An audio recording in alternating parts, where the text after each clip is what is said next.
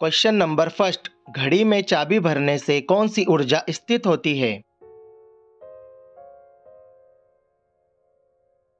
The correct answer सी घड़ी में चाबी भरने से स्थितिज ऊर्जा स्थित होती है।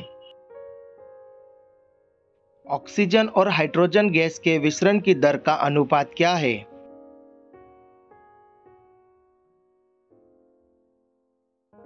The correct answer A oxygen और हाइड्रोजन गैस के विसरण का दर वन रेस टू फोर है।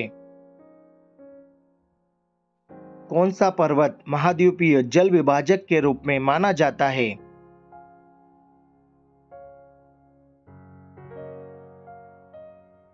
द करेक्ट आंसर डी जल विभाजक के रूप में रॉकी पर्वत को माना जाता है।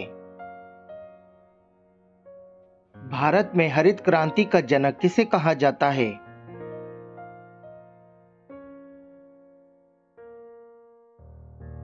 The correct answer A, Bharat का हरित क्रांति का जनक doctor M S Swaminathan ji को कहा जाता है।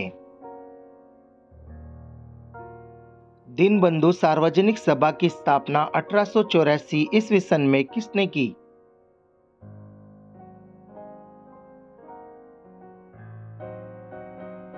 The correct answer B, Deenbandhu Sarvajanik Sabha की स्थापना ज्योतिबा फुले ने की थी।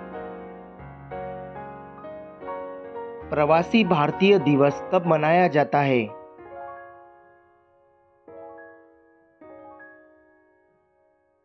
द करेक्ट आंसर ए प्रवासी भारतीय दिवस 9 जनवरी को मनाया जाता है।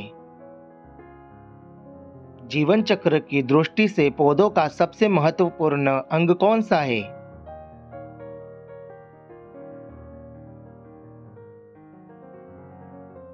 द करेक्ट आंसर ए पौधों का सबसे महत्वपूर्ण अंग पुष्प होता है। किस उपकरण द्वारा ध्वनि ऊर्जा को विद्युत ऊर्जा में परिवर्तित किया जाता है।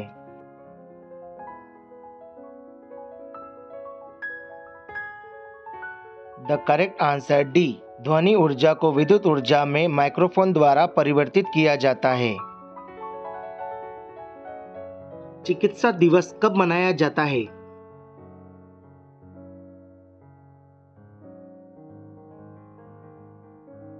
करेक्ट आंसर ए, चिकित्सा दिवस एक जुलाई को मनाया जाता है।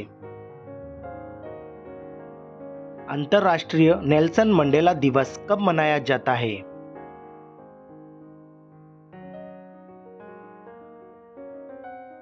द करेक्ट आंसर सी, अंतरराष्ट्रीय नेल्सन मंडेला दिवस 18 जुलाई को मनाया जाता है।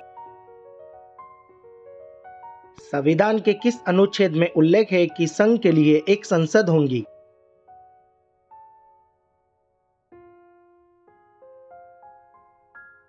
द करेक्ट आंसर ए अनुच्छेद 79 में उल्लेख है। सांची के स्तूप का निर्माण किसने करवाया था?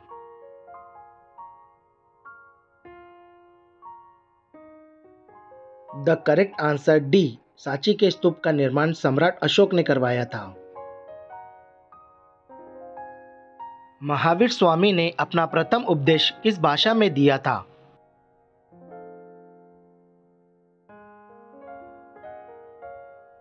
The correct answer A Mahavir Swami ने अपना उपदेश पाली भाषा में दिए थे।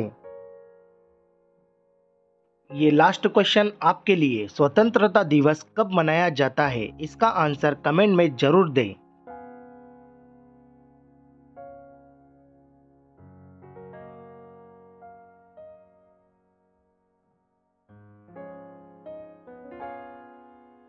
Thank you so much for watching जय हिंद दोस्तों।